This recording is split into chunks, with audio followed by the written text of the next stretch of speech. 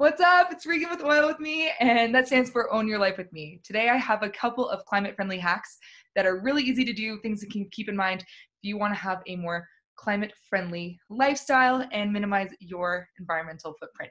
So, without further ado, let's let it rip.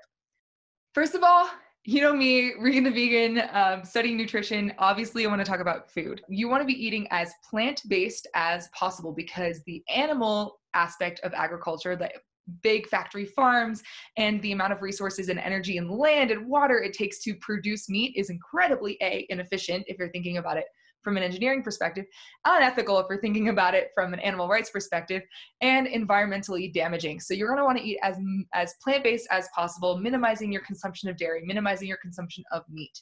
You're also going to want to eat as many local and seasonal vegetables, get those involved if you can. You can use resources online to learn about what's in season. Basically, what this is doing, you're not only supporting your local agriculture and your local farmers, but, and more likely than not, eating more organic and more healthfully. Um, your body also really responds well to things that are in season in the area around you. And you're minimizing food miles. There's a lot of embodied carbon in the food that is shipped all around the world and exported, imported. Uh, the food miles associated are really damaging for the planet. So if you can eat as close to home as possible, that's brilliant. I also love local veg boxes. Imperfect Foods is one of my favorites. It sells you ugly vegetables that would otherwise be thrown away, uh, but taste phenomenal. And CSAs, which stands for Community Supported Agriculture, are also brilliant. Another aspect of food, food waste super depressing. We actually throw away over a third of the food that we produce globally. It doesn't even hit our plates. A lot of this happens pre consumer. So it's happening on grocery store level, on the farm level, on the import export refrigeration level. Um, and food waste, if it were a country, would be the third largest emitter of greenhouse gases. So if you can, composting is huge, um, making sure that you're eating and shopping responsibly and doing what you can to minimize your food waste uh, footprint. And I have tons of videos about that you can check out. Next, fighting fast fashion. I need to talk about fast fashion because fashion industry is more polluting than aviation and shipping combined. That's because we have this insatiable demand for new clothes all the time. Not only are those clothes resource heavy to make. They're full of synthetics, chemicals, pesticides, dyes that you don't want on your body. And the lifestyles and the wages for these workers in Southeast Asia working at these garment factories is abhorrent. If you haven't seen the true cost, stop this video right now. Go watch that. It's free on Netflix. This documentary will rock you to your core. It will change your life, and you will really reconsider being on this hedonic treadmill of purchasing new clothes, wearing them once, and throwing them away into a landfill. Some options that you have for combating fast fashion and getting into a more regenerative, slow fashion moment you can thrift, you can shop vintage, you can swap clothes with a friend, you can repair the clothes you have. You can think to yourself, maybe I don't even need new clothes after all. Some great choices would be Depop, Vestiaire, The Real Real, Poshmark. These are places where you can sell old clothes to people and give them a new life, and you can purchase clothes secondhand.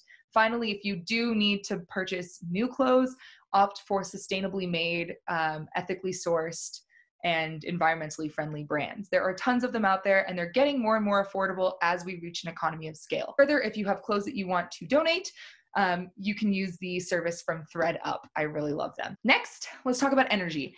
So you can actually shift the energy provider in your home to be a green energy provider. I did that in Boston. It guarantees that a certain percentage of the energy coming into your home is from a renewable source. If you have to travel, um, obviously opting for public transport or uh, electric vehicles that are um, on renewables obviously better. But if you do have to travel, I recognize that we're in a world where flight is sometimes inevitable. You can use carbon offsets. And what that means is these are companies that are uh, basically calculating the amount of miles that you traveled and you make a donation and they um, create a carbon offset for you based on your the carbon footprint of your journey. So you can use offset.climateneutral.org or Carbon Fund. There's a lots of great organizations.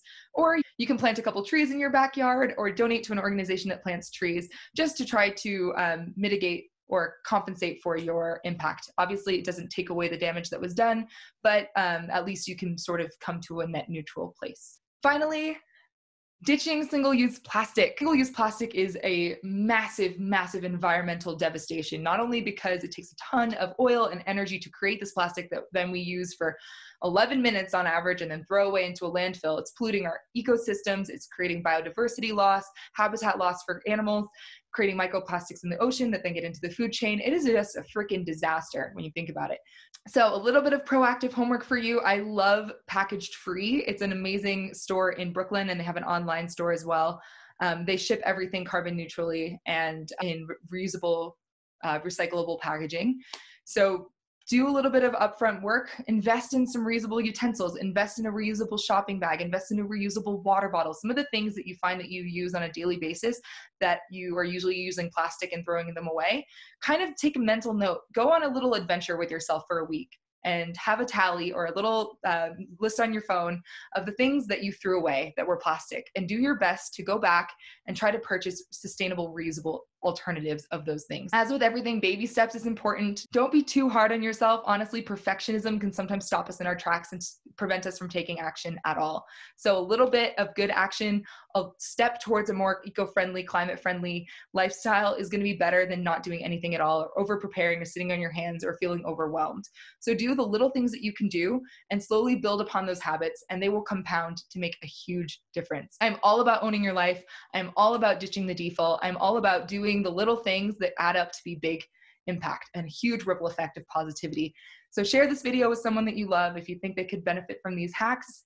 And let me know in the comments what hacks you love, what hacks I missed, and some of the ideas that you have around being a climatarian and um, living eco-friendly, plastic-free, zero waste, all of the amazing things that so many of us in this community are striving towards.